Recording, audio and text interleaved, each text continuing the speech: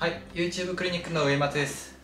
今日は面白いクラウドファンディングがあったので、まあ、ぜひ皆さんと一緒に見ていきたいなと思って、まあ、今日は紹介をしていきたいなと思います。さあその、まあ、プロジェクトはみんなで知ろう HPV プロジェクトですね。さあそのプロジェクトはみんなで知ろう HPV プロジェクト略してミンパピって言いますね。でこのミンパピ募集を開始してからクラウドファンディングで、まあ、お金を集め出してたった1日2日で、まあ、目標金額の3倍ほど集めてしまいました、まあ、それほど、まあ、皆さんにとって関心が高いものなんですけれども、まあ、皆さんこの見ている皆さんは、まあ、HPV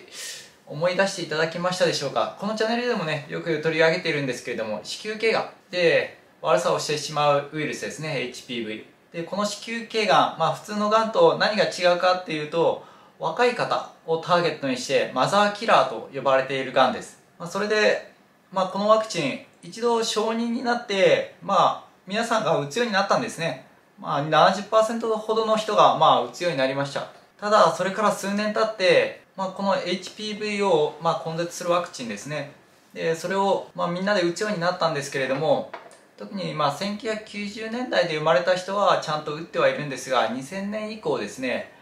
打つ人が激減したんです。でそれはなぜかっていうと、まあ、厚生労働省の方が積極的干渉といってですね皆さんに通達を送るのをやめてしまったっていうところがあるんですね。でその背景はマスコミ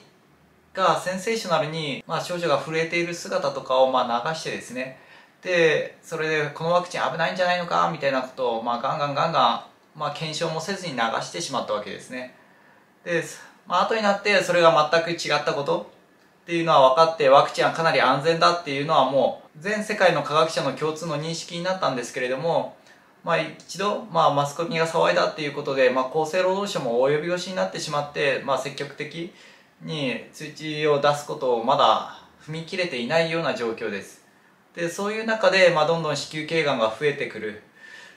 っていう歯がゆい状態になってしまってこのまあ医療者としてまあなんとかできないかっていうことでこのプロジェクト、まあ、産婦人科の先生ですね。産婦人科の先生とあと小児科の先生が中心となって立ち上げています、まあ、このまあ表で見てもこのミンパピのプロジェクトのまあページから持ってきた表ですけれどもまあ、全世界はこうやっていっぱいちゃんと売ってはいるんですけれども日本だけ0.6%っていうかなりまあ衝撃的な数字になっています。それはもうほとんど皆さんが知らないっていうことの方が大きくなってきたかなって最近は言われてはいますので、まあ、ぜひこういった活動でま皆さんに知っていただきたいなということで、まあ、今回このプロジェクトを取り上げています。でちなみになんですけどこのヒトパピロマウイルスっていうのは、まあ、子宮頸がんだけじゃなくて中咽頭口の中ですね。口の中にもできてしまうんですね、まあ、こういった形でできてしまって、まあ、これが悪さをしてしまうわけですね。大きくなってしまうと、まあ、喉も取らなきゃいけないとかあるいは肺転移してしまうとちょっとやっぱり手をつけられなくなってしまうとか、まあ、そういったこともあるわけですね。なので、まあ、女性も男性も関係する、まあ、ウイルスなんだっていうことで、まあ、ワクチンを打ちましょうということになっています。で、まあ、子宮頸がんが主になるので、まあ、特に女性、まあ、小6から高1の女性に関しては今でも無料で打てる自治体が多いです。なので、まあ、皆さんぜひ自分のところを確認してみてくださいね、まあ、これ、まあ、私も1万円ほど、まあ、寄付はしたんですけれども